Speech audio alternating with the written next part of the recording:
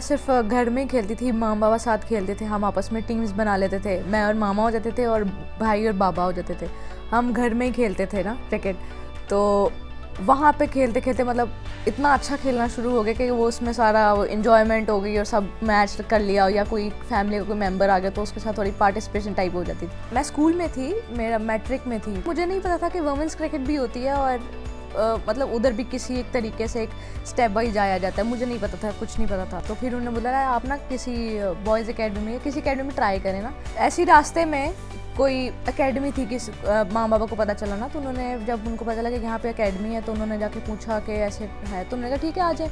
लड़कियाँ कोई भी नहीं थी सारे लड़के थे ना। तो वहाँ पे लेकिन रश बहुत ज़्यादा था। दस लोग या जितने भी ज़्यादा स्पिनर्स थे वो पहले बॉल कर आते वन बाय वन नेट जैसे नेट सॉर्ट ऑफ़ नेट चलता ना। तो पहले वो बॉल कराते, उसके बाद फिर मेरा एक बॉल होता और फिर वो जो बाकी लोग हैं, वो जो फास्ट बॉलर हैं, वो करते थे ऐसे। मैं फास्ट बॉलर थी। मैंने फास्ट बॉलिंग की। फिर उन्होंने कहा कि आप ना, कुछ दिनों बाद ना उन्होंने बोला कि आप ना स्पिन ट्राई करो, क्योंकि मेरी ऐसी हाइट भी नहीं थी तो उन्होंने बोला, आप स्पिन ट्राई करो। तो मैंने स्पिन मैंने स्पिन ट्राई की, मेरी बॉलिंग अच्छी होगी बस उन्होंने मुझे बोला अच्छा ठीक है, आप ना उन्होंने बताया अच्छा इतना नहीं, मैं आपको ना टारगेट रख देता हूँ तो आप ना बॉलिंग करो। तो मेरे पास अब टारगेट ऐसा तो कुछ नहीं था तो ग्लव्स थे, वो वही टारगेट पिच पे लगा के, वो जितना उसका डिस्टेंस लगा के एक आधा बॉल होता था, वही उससे बॉल उसी बॉल से कोई दस, पंद्रह ओवर रोज़ में आके करती थी। फ़र्स्ट ईयर के पेपर से ना, उसके करीब करीब ना मेरा इधर नाम आ गया डोमेस में डोमेस्टिक में।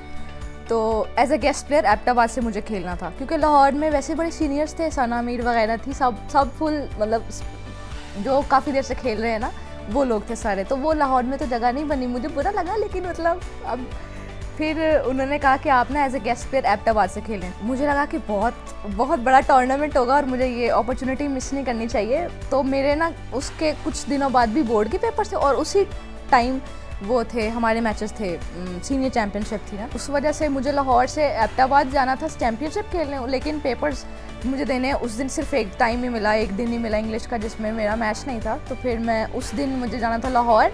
मुझे ये भी नहीं पता था पीसीबी परमिशन देगा कि नहीं। थोड़ा कॉम्प्लिकेटेड था, लेकिन मैंने उनसे पूछा परमिशन दी।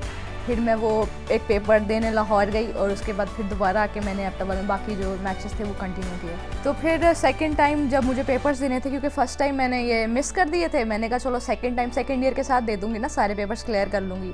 फिर मेरा पाकिस्तान में नाम आ गया। फिर मैंने कहा, फिर छोड़ दो पेपर्स फिर मैंने कहा, क्योंकि बहुत बड़ी चीज़ थी पाकिस्तान के लिए नाम आना। फिर मैंने फिर से पेपर छोड़ दिए। और जाके मैंने पाकिस्तान खेला। एक वर्ल्ड कप की टीम में आना एक ब्लेसिंग होता है। लोग इतना इतना वेट करते हैं, चार साल वेट करते हैं, इतनी मेहनत करते हैं कि इस स्कॉड में आएँ और पाकिस्तान को रिप्रेजेंट करें। वर्ल्ड कप एक बहुत ही वैसे ही बहुत बड़ा इवेंट होता है। तो इससे पिछला वाला इवेंट हुआ था main T twenty World Cup था जो ऑस्ट्रेलिया में हुआ था। तो उससे, उसमें मैं ड्रॉप हो गई थी, वो टी ट्वेंटी वर्ल्ड कप था। मेरी जगह वो कुछ न्यू यंगस्टर्स गए थे।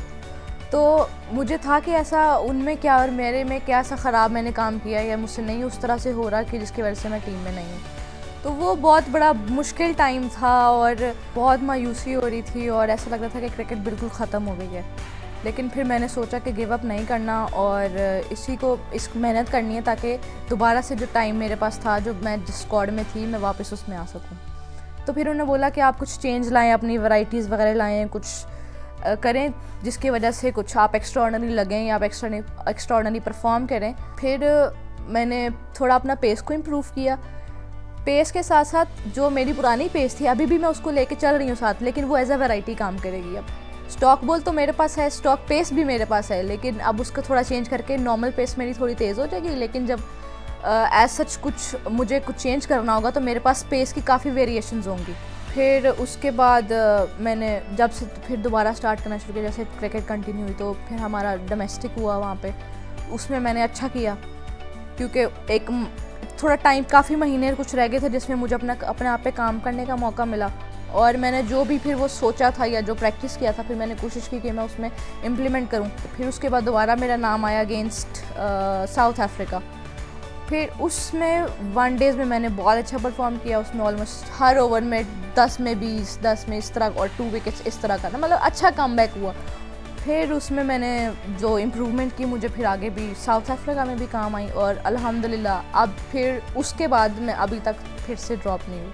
और अभी वर्ल्ड कप है तो इनशाला इनशाला है कि मैं उसमें भी कुछ एक्स्ट्रॉनरी परफॉर्म करूँ ताकि कंसिस्टेंटली टीम का पार्ट रहूँ।